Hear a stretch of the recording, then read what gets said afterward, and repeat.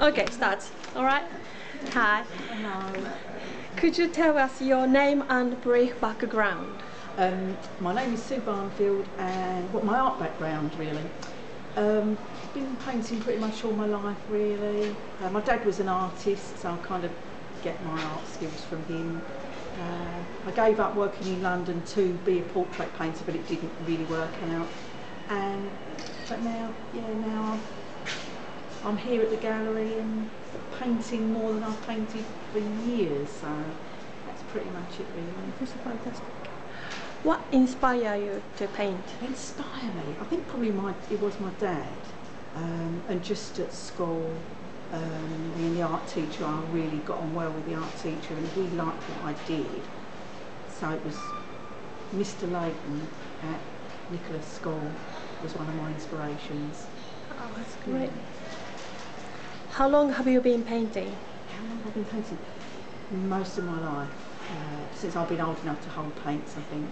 Um, I used to dream about mountains of pencils and paint boxes, so I might not have had many, but I, mm, I've always, always painted. And drawn probably really, drawn first, Yeah. and then painted over. What is your favorite art medium? Art medium. I go in phases. I was um, I was acrylics and absolutely hooked on acrylics for a long, long time.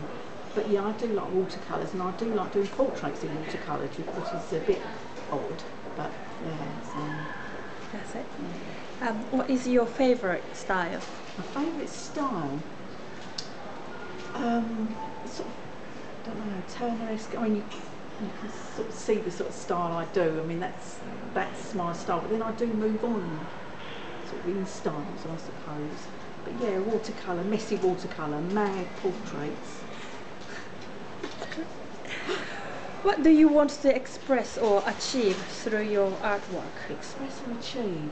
I don't know really. If other people like what I do, that to me is what it's all about. But it's just how you can lose yourself when you're painting.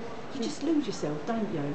And that's what I love. So yeah, it's nice if it brings pleasure to other people, but it's just the peace and the joy it brings to me. So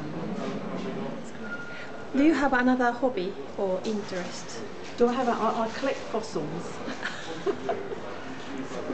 I like I like um, weight training. I like going to a gym, although I don't go so much these days. But hobbies, yeah, um, probably mundane things, reading and swimming, but nothing.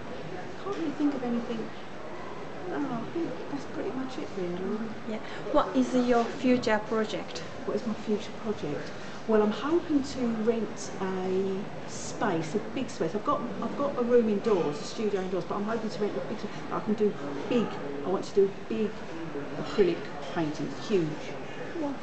Yeah.